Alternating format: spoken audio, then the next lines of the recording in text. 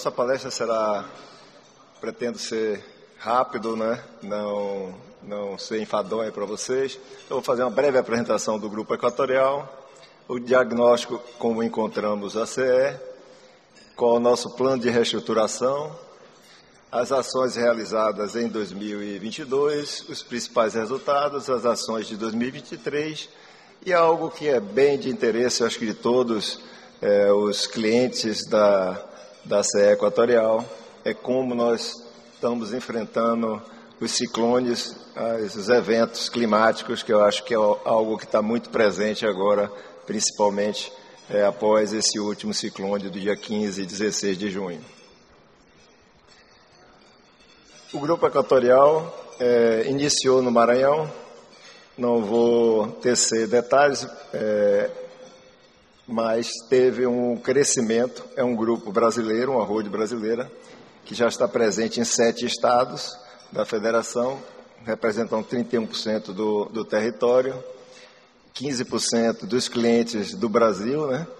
E é, assumiu a CE em julho de 2021, é, estando prestes a completar dois anos de gestão.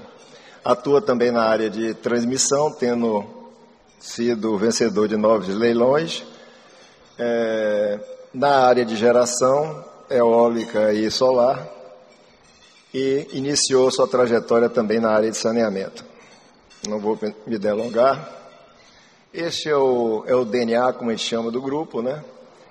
que tem a capacidade exatamente de transformar ativos. Nós, nós temos a, situação da SE, como a gente vai mostrar rapidamente, que veio de uma situação bem deteriorada de, de rede é, de distribuição de energia elétrica nós atuamos muito presente para buscar eficiência, temos a cultura de dono, todos os nossos gestores e colaboradores têm que ter essa filosofia de gerar valor, de gerar nova oportunidade e disciplina muito grande na alocação de capital. Diagnóstico da SEC, eu vou ser bem breve, que todos já conhecem. Nós tínhamos uma situação que em 2020 a empresa registrou um prejuízo de 1,6 bilhão de, de reais, né? é, um custo operacional performando acima dos custos que são considerados é, aceitos para é, estabelecer a tarifa, né, a base para a tarifa, passivos de mais de 7 bilhões. É, último na, no ranking na, né, de continuidade, eu até comentei bastante isso junto aos jornalistas, elevado volume de compensação aos clientes exatamente por uma, uma má prestação de serviço e é, não utilizava recursos disponíveis do setor plenamente, tive que devolver até 250 milhões quando a gente chegou no programa de P&D, algo que a gente não pode perder esse tipo de oportunidade. Aqui um histórico, né? No período de 2010 a 2019, em média, é, a empresa teve um EBITDA negativo, né? Todos conhecem a EBITDA, o fluxo de caixa operacional da empresa era negativo ou seja, uma situação bastante deteriorada financeiramente. Prejuízo médio no período de 15 30, 15 31 é, milhões de reais, é, cumprimento é, das obrigações plenamente em dia, que é, não faz, faz parte de nossa obrigação, naturalmente, é, fazer essa tarefa. Aqui um pouquinho da, da, de algo que também todos conhecem, que é a degradação da própria rede elétrica. Né? Temos uma grande quantidade de postes de madeira, não que tenhamos nenhum problema com postes de madeira, mas os postes de madeira da CE estavam bastante deteriorados e isso se revelava em todos os componentes da rede. Tínhamos uma ineficiência de comunicação é, dos equipamentos instalados com o, nosso, com o centro de operação, um baixo nível de automação da rede, é, equipamentos sem parametrização, ou seja, eles não funcionavam adequadamente por falta de manutenção, é, baixa seletividade e baixa, é, pequena possibilidade de manobra da rede para restabelecer de forma rápida. Aqui o, o, o indicador de, de continuidade que marcou aí o, o último ano, né? que é, que é o momento, inclusive, da mudança de controle. a gente tinha, em média, 20,5 horas de interrupção, em média, e 10,3 número de vezes que cada cliente era interrompido por ano. Aqui era a situação das agências, que a empresa estava, um, um razoável nível de abandono. A situação que a gente encontrou foi logo após a pandemia, as agências se encontravam fechadas, né? o call center era superdimensionado, e aí vários outros pontos que eu vou, não vou me delongar, que é, a gente vai abordar mais na frente. O plano de reestruturação, basicamente, ele consta de nós, é, nós sairmos de uma concessão no estágio degradado que se encontrava a CE e atingir, naturalmente, uma concessão estabilizada em condição de cumprir todas as obrigações. É, aí a gente mostra algumas ações já implementadas para a gente atingir isso, como levantamento de todos os passivos, gestão e remodelagem da dívida, retomada do fluxo de atendimento a clientes e algumas que estão em andamento e que vão realmente perdurar por muito tempo. E a adequação, melhoria das do, do atendimento comercial, a adequação dos processos técnicos, a troca de sistemas, que é bem árduo trocar um sistema, por exemplo, comercial, nós continuamos com o sistema antigo da CE. É, e o próprio reequilíbrio econômico-financeiro é um processo, né? Nós vínhamos de uma bíblia negativa, já viramos esse número naturalmente, então tem muitas ações no plano de reestruturação a ser implementadas. Aqui apenas a gente apresenta, do ponto de vista é, do mapa da, da, nossa área de concessão, aonde a gente está presente com bases comerciais mais robustas e a gente está presente com bases é, técnicas mais robustas, não que a gente não tenha recursos em cada um dos municípios ou nos municípios polo. Né?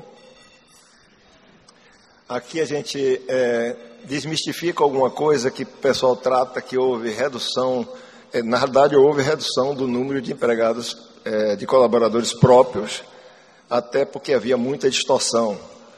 Pessoal também de baixo desempenho e pessoal com salários muito elevados. Então, houve uma redução significativa, mas no total a empresa teve uma ampliação de força de trabalho de 40%. E essa, essa, esse crescimento pode ser percebido nas ruas, quando você vê os veículos que trabalham para a gente. É, um, é, um, é, um, é uma mudança é, muito significativa de quantidade de veículos que estão à disposição para atender a, aos nossos clientes. É, ações realizadas em, em 2022, que aí quando se pergunta o que, é que a gente vai fazer para melhorar a rede, a gente não só vai fazer obras estruturantes na rede de distribuição, ampliações de subestações, como a gente vai implementar e vem implementando, e aqui já são os números de 2022, na automação da rede, na proteção mais adequada, na qualidade da energia fornecida em termos de nível de tensão e investimentos é, na rede de distribuição e aquisição de transformadores de reserva são alguns tópicos aí que nós correlacionamos. Nós investimos em 2022, 586 milhões. Isso representa quatro vezes o que vinha investindo a CE enquanto estatal. É, quando se fala, inclusive, de eventos climáticos, todo esse investimento em equipamento, em aumentar manobra, em tornar a rede mais resiliente para as interrupções, usando tecnologia, basicamente, isso aqui é que responde àquela pergunta relativa à melhoria inclusive nos dias normais, mas também em eventos severos climáticos. Você tendo esses equipamentos instalados, parte da rede ela é recomposta automaticamente, parte ela é comandada de forma, em termos de minutos, é, pelo centro de operação. Isso com certeza vai minimizar bastante e melhorar, minimizar bastante o tempo de interrupção, a frequência também de interrupção e, a, e o restabelecimento mais rápido tanto em situações normais como situações de contingência. Aqui são exemplos de investimentos já realizados, ampliação na subestação de Santo Antônio da Patrulha, Osório, Guaíba. Esses todos são obras realizadas em, no ano passado, até o final do ano passado. Outro ponto de investimento muito forte que nós temos, já realizamos até o final do ano passado, 14 mil e é, 14.500 clientes que estavam em situação regular, são as famosas é, ligações de gato, né, ligações clandestinas. Isso naturalmente traz não só qualidade de energia para os próprios beneficiários, como seu entorno que é perturbado pela qualidade de serviço daqueles que estão ligados de forma irregular, traz dignidade, traz segurança principalmente, porque são áreas extremamente arriscadas. E aqui temos exemplos de investimentos em Porto Alegre, em Alvorada. Outro ponto muito importante, nós tínhamos realmente um, um acúmulo grande de atendimento a pedidos de ligação, principalmente na área rural. Nós já realizamos até o final de 2022 1.787 ligações com obras e no momento atual, desde o início desse ano, nós atendemos os prazos regulatórios. Que coisa que a gente não conseguia fazer é, anteriormente. Na área de atendimento, já temos duas agências que foram é, remodeladas, modernizadas, ampliadas em termos de número de, de posições de atendimento presencial, com a parte, inclusive, de atendimento digital, com tablets, é a Agência Centro aqui, na Rua do Uruguaio, e em Pelotas, a Agência de Pelotas. Importante destacar também a nossa capacidade de melhor atender através do nosso call center. Nós tínhamos antes uma terceirizada em São Leopoldo, nós inauguramos também na Rua do Uruguaio e no edifício Formac um novo call center que ampliou de 81 posições para 208 posições, podendo se é, comunicar todos os clientes com a companhia com muito mais facilidade, com a capacidade, inclusive, de transbordo para outros call centers do grupo, diga-se de passagem, que foi utilizada nesse ciclone lá do dia 15 e 16 topou né, os atendimentos, porque foi uma quantidade muito grande de chamadas que chegaram, e boa parte dessas chamadas foram atendidas por outro call center do grupo para ampliar essa capacidade que não é normal a gente ter dificuldade, mas uma situação de é, evento climático severo, o número de chamadas cresce de forma é, extraordinária e aí não é possível atender todas em 30 segundos, como reza a obrigação regulatória. Aqui são outros exemplos, é, inclusive com a parte inclusive, de atendimento digital nas nossas agências.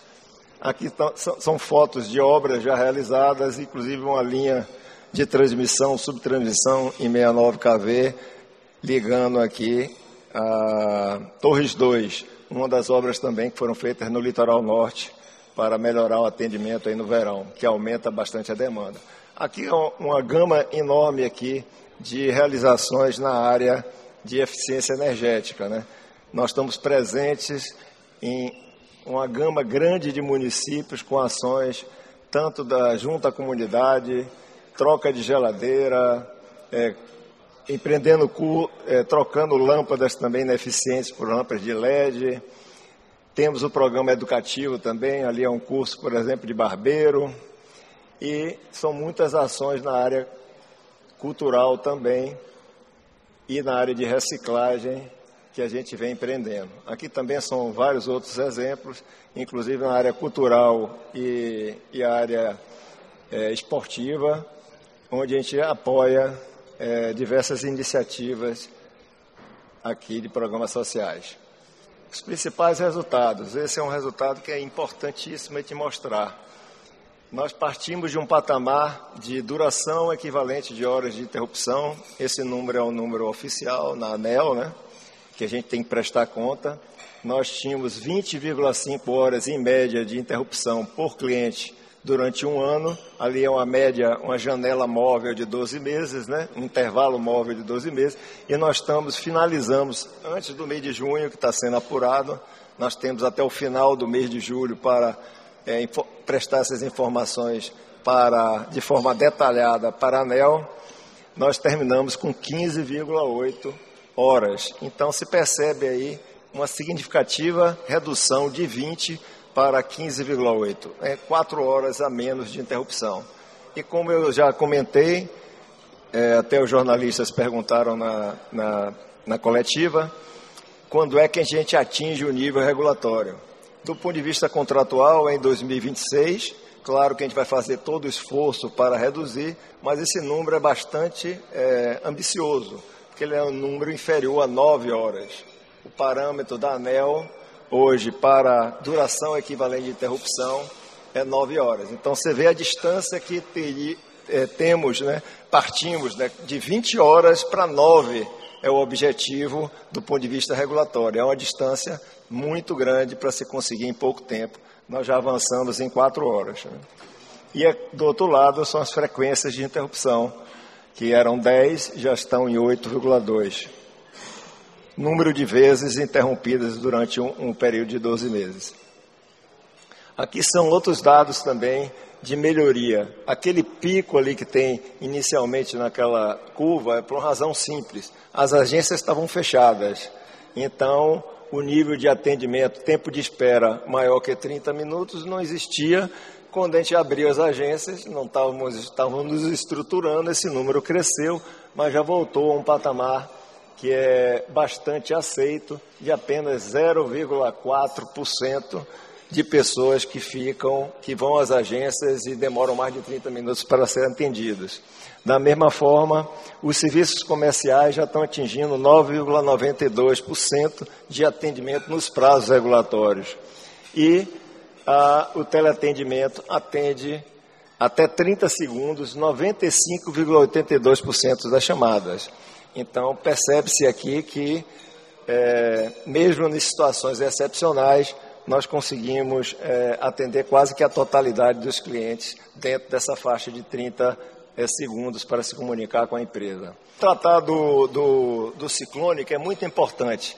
Eu começo com essa apresentação que aconteceu no Fórum Latino-Americano de Smart Grid em São Paulo, feita por uma, um profissional que vivenciou muito a situação de é, eventos climáticos extremos, que é no estado da Flórida. Eles é, iniciam com 2004 com um evento que está ali de cor laranja, mais ou menos, e ele mostra como foi o comportamento. Embaixo aqui nós temos o tempo de recomposição em dias e a, a, a, quantidade de clientes que foram restabelecidos ali no lado da ordenada. É, ele, ele, durante esse trabalho, ele mostra tudo, todo o esforço que teve lá na Flórida, uma empresa, inclusive, que eu conheci desde 1997, uma empresa que tem uma rede robusta, mas que diante de eventos como o furacão, né, bastante intensos, é, sofria demasiadamente para restabelecer o fornecimento de energia. Então ele mostra o, o, o evento do furacão Vilma levou 18 dias para restabelecimento integral de todos os clientes, numa, numa, numa situação naturalmente muito mais intensa do que os eventos climáticos daqui, mas que dão um exemplo do que é que pode ser feito nesse sentido. Então, eles fizeram um investimento durante, de 2004 até 2022, que ele apresentou esse trabalho, basicamente no fortalecimento da rede, representada aqui pela aquela, aquela figura ali da, do peso, né, da ginástica, na inspeção de postes e no manejo de vegetação, mas principalmente na instalação de equipamentos automatizados e tecnologia na rede. Todas as tecnologias é, listadas neste, neste trabalho são exatamente muito próximas da que a gente está aplicando. Ele, após esse investimento desse período todo, o que ele destaca é que no furacão Ian, 66% dos consumidores foram restabelecidos em um dia e 100% em oito dias. Então, para se imaginar, claro que eu não estou querendo comparar exatamente a intensidade do fenômeno, lá o fenômeno é muito maior.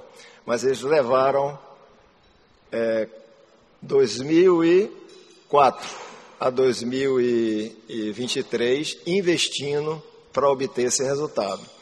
Então, por mais que a gente torne nossa rede resiliente, sempre, sempre a gente vai ter problema, porque é uma força da natureza, nossa rede é aérea, nós convivemos, por exemplo, aqui em Porto Alegre, mas em todo o estado, com a vegetação muito próxima à rede, em casos de derrubadas de árvores, árvores inteiras que caem, não é possível que não haja interrupção e que tenha um nível de restabelecimento ampliado. E esse é um processo de muito e muito tempo de investimento que a gente tem que fazer. O que a gente acredita de forma, com um compromisso muito forte, que cada vez mais nesses eventos nós vamos procurar, e já estamos demonstrando isso de uma certa forma, reduzir esses tempos para restabelecer a energia elétrica. Aqui a gente dá exemplo deste evento, que foi um dos eventos, é, segundo toda a pesquisa que a gente fez, talvez tenha sido de fato o maior nos últimos 40 anos. Nós tínhamos informações prévias que haveria o evento entre o dia 15 e 16, mas que as rajadas de vento é, chegariam à faixa de 70 km por hora. Tem ali as fontes, inclusive, dessa, dessa pesquisa, tanto o INDE como o METSUL. A, a gente se preparou, de fato, para enfrentar essa, essa, esse evento. Só que o evento real, ele aconteceu de forma muito mais intensa. Nós chegamos a ter volumes históricos é, de chuvas muito superiores às previstas inicialmente, e tivemos rajadas de vento superiores a 100 km por hora. Tivemos uma quantidade de clientes recorde atingido, pelo menos na nossa gestão. Foram 422 mil clientes atendidos. E em 24 horas nós conseguimos restabelecer 89%. Então nós acreditamos que realmente isso foi uma performance para a, o nível de intensidade do evento e para a qualidade da rede, que apesar de todos os investimentos que a gente fez ainda é muito frágil, é um desempenho considerado é, razoável. Né? Aqui as notícias, né, todos acompanharam aí a, a intensidade do fenômeno. Aqui é uma fotografia, inclusive, da nossa equipe em campo, em Viamão, por exemplo, aquela pessoa é uma pessoa de 1,80m mais ou menos. Dá para comparar a árvore que caiu na rua em Viamão. Então, todas essas dificuldades de acesso, toda a dificuldade de mobilidade se acrescenta às dificuldades do acesso aos locais onde teve a rede interrompida para a gente fazer o reparo. São várias fotos, tiveram várias situações de alagamento onde a gente não conseguiu acessar a rede. E aqui, por final, aquela, aquele mesmo gráfico de outra forma apresentada, onde a gente inicia com 422 mil clientes e ali tem o dia e horário que a gente foi restabelecendo a energia elétrica, ficando ali ao final, no dia 20, com 1.600 clientes ainda sem ser atendidos, simplesmente pela impossibilidade de acesso ainda. Teve áreas como Cará e Maquiné que foram totalmente destruídas nós chegamos a restabelecer a rede com instalação de mais de 400 postes que foram derrubados nesse período e nós fizemos a recomposição da rede. Então, aqui são mais ou menos a ilustração é, de tudo que a gente fez para minimizar o máximo possível o efeito desse, desse ciclone. Bom, e me colocar à disposição aí para as perguntas.